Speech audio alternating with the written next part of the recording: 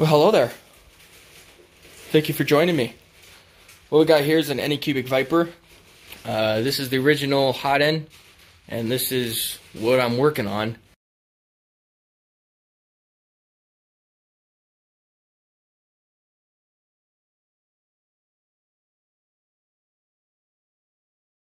And then you can see I 3D printed a little spacer because the hot end sat too high up. So it would error when I was trying to level it. So that kind of pushed it down a little bit. What I have now is one of these, I think it's, I have the box somewhere. Let me get the box. All right, here's the box. It's a Dragonfly BMO by Phaetus. Phaetus on Amazon is like 74 bucks. Pretty pricey to be honest, but anyway, this is what it is, right? And you can see it's significantly smaller than this guy. And I got the top on this thing. But uh yeah, significantly smaller. Like I said, this one I had at the spacer because it was sitting too high. This one's obviously going to sit heck of a lot higher. So that's what this is. So I'm creating this, or making this little uh, spacer, and you can see I've already tapped those, right? And that fits this guy. And let's see if I can even get this in here with one hand. I doubt it, but I'm getting it. But there's a hole, goes all the way through, and that's for the uh, tube and it's going to sit in there, and then this guy will sit right here. Well, right here. It's not going to be this big, but that's all I had right now. So I'm going to have to turn that down. But yeah, I already started, but I thought it would be cool, cool little video. Why not? So I can show you the rest of the process, but I can share with you right now what I did. Obviously, you can kind of already tell what I did.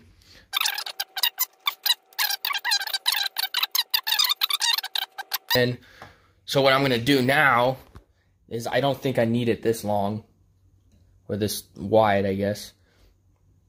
Uh, I definitely need to turn it down. And I think I'll turn it down to the same diameter as the inside. Or maybe the outside. It doesn't really matter. I think we have plenty of clearance. So just one of those. At least the same, you know. So it kind of looks like it's OEM the hardest part about this is going to be the actual mounting of it. This is obviously designed to be mounted to this, and obviously it's completely different than every other printer in the world. So, you know, this has the auto auto leveling, and it uses the pressure from the nozzle when it hits the bed to indicate that it's hit the bed, using this guy right here. And it's extremely sensitive too, which is pretty cool. But uh, so I have to figure out how to mount this. As you can see, this guy on the top is a lot wider than this guy, so the bolts don't have the clearance to get through. So I'll come up with something, either mount it like that, like this. We got some options, so let's figure it out. Okay, so I got it mounted. I'm holding on by a thread, just that little piece right there, but it seems like it's on there solid. I don't know, because I did crank down pretty hard, but I don't think I crushed the, uh, you know, because it's hollow or there's a hole through it. So this right here is 38 millimeters and I need to get down to 16 millimeters. Uh, so what I did is 38 minus 16 equals 22 divided by 2 is 11 and then I'll just take the calipers I got it set to 11 well 10.99 doesn't need to be super accurate and then I'll just turn the lathe on and run it and score that line and that should be 16 I think I don't know. I'm not good with circles. So let me try that real quick and see what that's all about. Alright, so what I'm going to do is I'm going to take this Sharpie, just turn this up like that. I'm no professional, so I don't have all the cool gear, but uh, I don't even have a tripod, so I'm just holding my phone. And then this is the 10, so I'll just put it right on the edge here see if I can show you. And then we got that mark right there. So let's see if that's 16. Let's turn that off. And like I said, it doesn't have to be super perfect or anything, so it looks like it's going to be about 16. Yeah. Cool. Okay. So I'll just turn that down. I don't really know how I'm going to show you guys on camera me doing this. Probably just won't because I don't have a tripod, so. and I apologize for the voice. It's uh, it's like six or five in the morning. Just woke up. So, let's rock and roll. All right, so I got it pretty close. 16. I'm just gonna flip it now.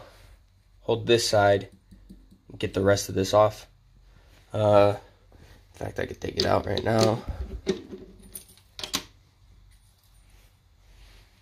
That's what it's looking like. mount it backwards.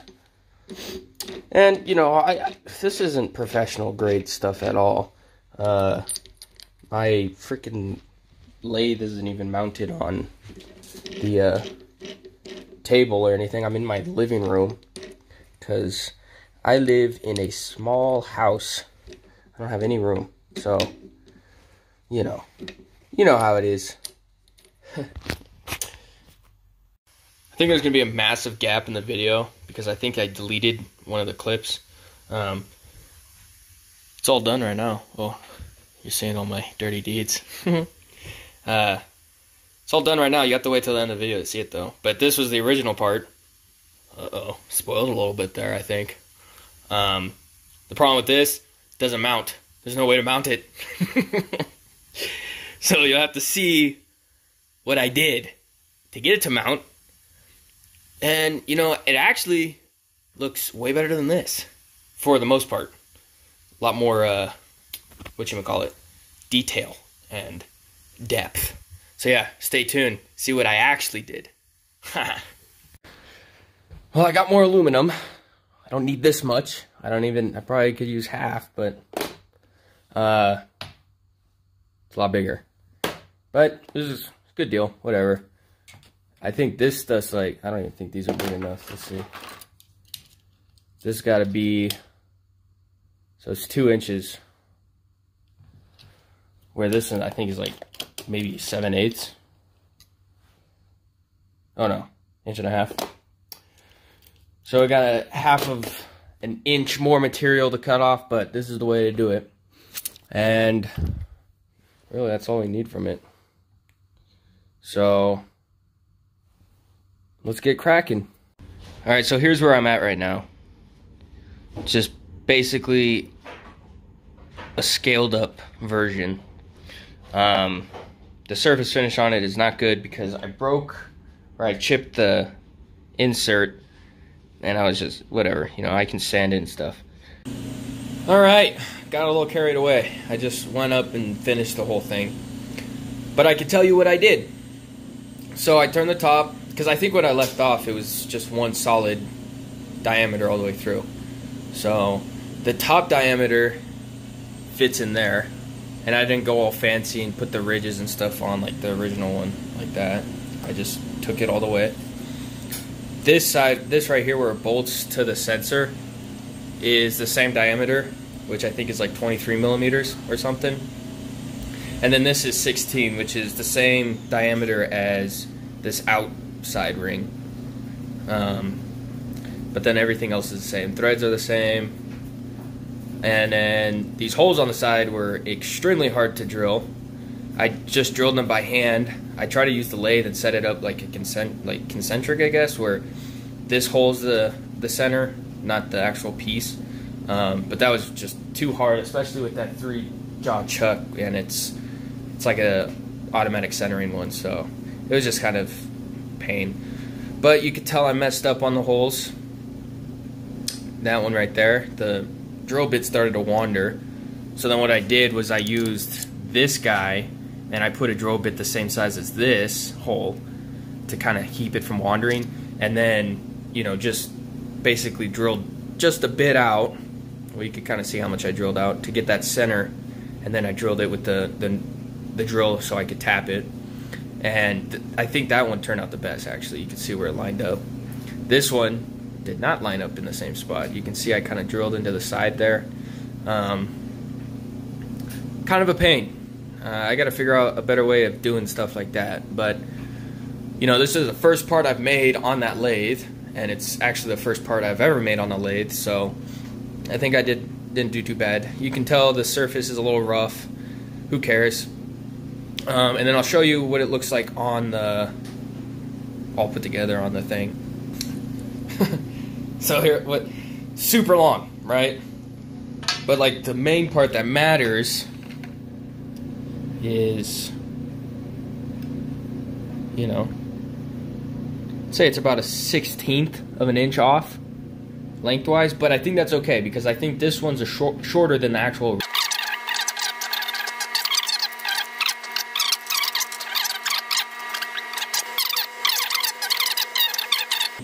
I'm gonna mount it up on the printer now, see how it looks. Um, and actually, now that I'm looking at it, I put that in backwards. It, sh it should be the other way because it's it's closed on that side, so it should be the other way. But yeah, so it's super long. It looks ridiculous, but you won't see you won't see this uh, when it's all put together. It's leveling right now, but I realized something. I was measuring the same length as the original nozzle that I had on there before I did this, but I forgot I had a spacer. So of course it failed. You can see the Z uh, adjustments things. I printed these a long time ago. I made these on Fusion. And I just added them. I guess I could add the spacer back on. Or print a new one. I'm sure I still have a file somewhere. Um, but yeah, you can see how low it gets. Look at that. I don't know. Maybe I like it that low. Who knows? Let's see. Let's try it out. I'm going to print a benchy, and I'll show a little bit of that too. So I had that spacer in. I had to go back to the longer screws. I'm going to make this part again in the future and push this up to here. I have made so many mistakes on this. But it's working now. So, and it sits lower too. It'll sit right there. Doesn't look as bad. I was supposed to end this video a long time ago, but I guess that's not the case. That is not even in all the way. There we go. Cool. Okay, got it leveling right now with that spacer in there. It's sitting a lot better. I did a print last night of just the calibration cube, just to see what it looked like. Don't mind that crap. I accidentally left supports on. Um, but you can see the layer lines. It's definitely going to need some uh, calibrations. But, uh, actually, you know what? I never even checked to see if it's dimensionally accurate. I don't really care. Um, that's what the top layer looks like. Definitely need to adjust the flow. The uh, bottom layer is got that elephant foot on there. Yeah, I guess I'll do another print and you can see, well, I guess you don't need to see another print. It's basically the same thing, just lowered now, so. I guess now would be the end of the video. Thanks for watching. Golly, get out of here. Go watch another YouTube video.